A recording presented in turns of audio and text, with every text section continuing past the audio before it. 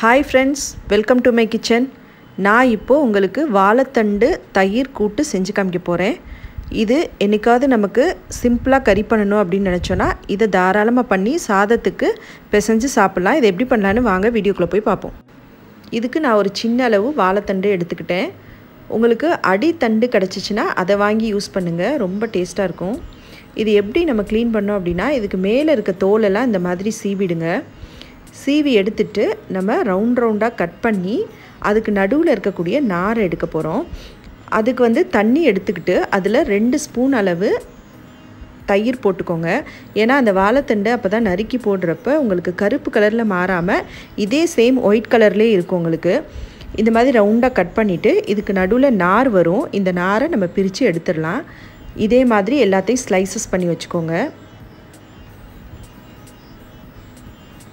அதுக்கப்புறம் இதை breadth and length wise சின்ன சின்னதாக நம்ம கட் பண்ணி எடுத்துப்போம்.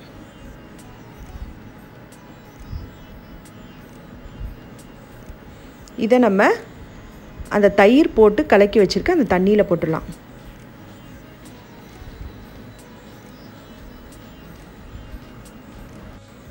இதுக்கு தேவையான பொருள் என்னென்னு வாங்க பார்க்கலாம். அரை கப் தயிர் எடுத்துக்கிட்டேன். கொஞ்சம் தேங்காய் ரெண்டு பச்சை மிளகாய் ஒரு ஸ்பூன் ஜீரகம்.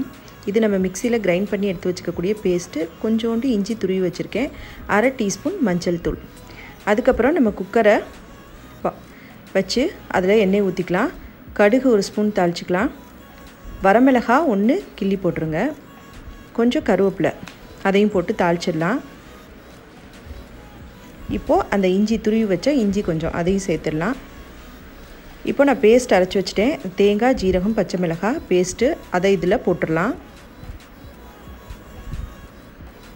அதை கொஞ்சம் லைட்டாக கிளறி விட்டுக்கோங்க.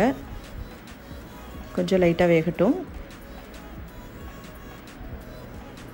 நல்லா பச்சை வாசனை போகிற வரையும் கொஞ்சம் அந்த எண்ணெயில் கிளறி விட்டுடலாம். இப்போது இதில் கொஞ்சம் அரை டீஸ்பூன் அளவு மஞ்சத்தூள் ஆட் பண்ணிட்டேன். உப்பு கொஞ்சம் தேவையான அளவு போட்டுடலாம். இப்போ நம்ம கட் பண்ணி எடுத்து வச்சுருக்க வாழைத்தண்டு எல்லாத்தையும் இதில் சேர்த்துடலாம்.